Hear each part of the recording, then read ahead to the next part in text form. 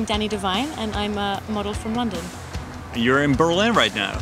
Yeah, isn't it great here? It is. So how come you're here?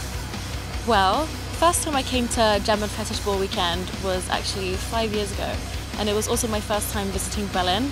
And I just fell in love with the place. It was uh, I was walking in a catwalk for Pandora Deluxe, and we all came as a group together from London. And I've been back every year since. Right, so this is your fifth year. Yeah, this is my fifth time here. I just love it that much. Uh-huh. Do you have any, any expectations for the weekend? Um, I think after the catwalk tonight, we're gonna party really hard, and then tomorrow feel a little bit sorry for ourselves. I don't have any photo shoots booked for tomorrow, so I'll be okay. And then in the evening, uh, we're, we're gonna do karaoke night. We have a little tradition, you see, after the German Fetish Ball. Tell me about a bit more about that, about the karaoke night. Oh, it's wild. We all just drink too much and sing our hearts out on stage, and it's the best. I'm sure it is. So about tonight, you're doing a model show. Yeah, that's right. Um, I'm walking in the Jaded Jewel show. Can you tell us a little bit about what you're going to wear tonight? Oh yeah.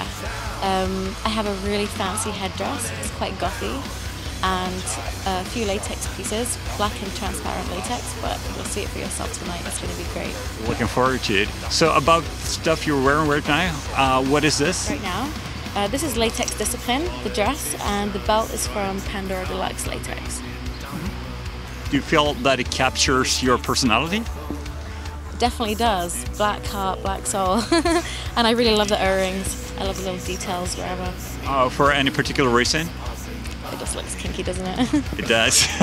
so what else do you do for fun in Berlin? Um, well, when I'm not busy working, and that includes doing loads of photo shoots, I've already done a handful in the past couple of days. Um, there's loads of good bars to check out. I really like Halford's Bar, because I love Judas Priest. And uh, there's lots of good food here as well. Um, Would I be correct saying that Dani Divine is a 100% party girl? oh, 100%. 110 even? 110. I really, I really love it here, and Berlin is such a great place to live.